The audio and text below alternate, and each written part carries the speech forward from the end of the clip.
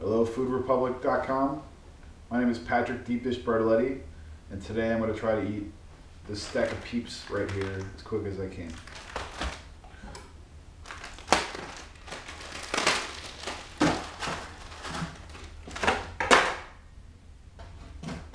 Got 30 here.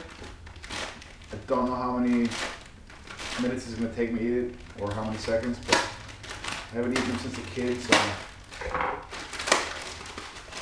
see.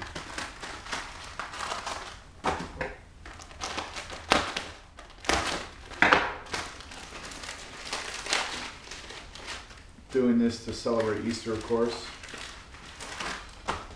Yeah. Alright, 30 peeps. Let's see how quick it takes me.